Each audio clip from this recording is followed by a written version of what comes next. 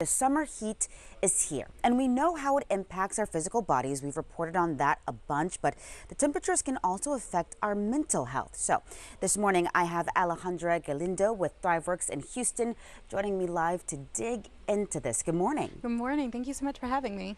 Of course. So, obviously, when it gets hot outside, I personally start to notice that I get a little more agitated a little bit more easily. But is there actual clinical research and evidence that shows that the heat impacts our behavior? Yes, absolutely. So the heat actually will increase body temperature mm-hmm. naturally. Mm -hmm. So think about it as kind of like a body response muscle memory. Mm -hmm. When anxiety increases, our heart rate is pumping and our body temperature naturally will increase.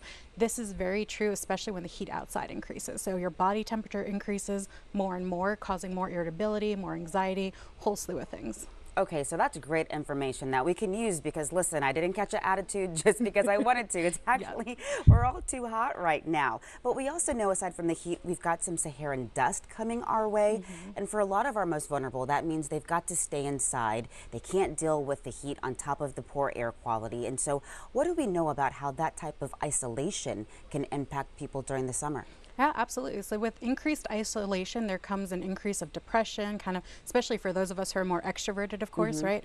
So when we have to stay inside, whether for medical issues or for personal health reasons and just safety, uh, you want to make sure that you try to reach out to people through other means like social media, phone calls, video chats, and things like that, and just kind of keep up to date yeah. and stay off of like social media Reddit forums and things like that that okay. talk about like increased like weather, heat, temperature pieces or things that might just increase anxiety with weather too. That's exactly where I wanted to go next because we know even with the upcoming election in November, an issue that is at the top, particularly for young people, is climate change. Talk about mm -hmm. sometimes the anxiety that can come along with letting those thoughts spiral, thinking about mm -hmm. weather and the extreme, uh, the extreme weather with our changing climate. Yeah, so with extreme weather and changing climate, I mean, just the society in general, the way the world is going with increased protests and climate change and everything, mm -hmm.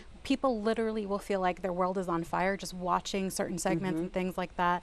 Um, and so with the world being on fire, now their actual atmosphere is also on fire. So it feels like they can't escape it and their reality is becoming like more and more real each day. Yeah, so much of this is making so much sense when you actually think about it and break it down. So we've talked about anxiety, we've talked about catching an attitude when it's so hot outside, and we've also discussed, you know, just the isolation that you can feel when you can't get out and be around people because of the environment. So what are some things that we can do to kind of empower ourselves and take control of of our mental state. Mm -hmm. So a lot of people forget and don't realize that with our thought process, we can choose which thoughts we pay attention to the most. Mm. So the more you focus on the negative pieces, it's going to spiral you more and more, right? And so obviously it's difficult to go from just negative to positive aspects. Um, find something in between, more neutral or more accurate, right? Is it true that the world is going to light up on fire today? Not necessarily, right? So you want to find something that's more neutral of, hey, today's going to be extra hot. Let me be mindful and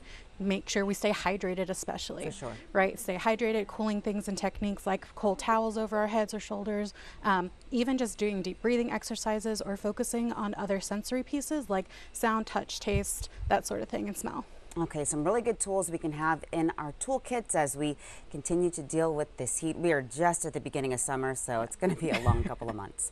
Alejandra, thank you so much for being here with us this morning. Thank you so much for having me and hope everyone stays cool out there. Absolutely. Okay.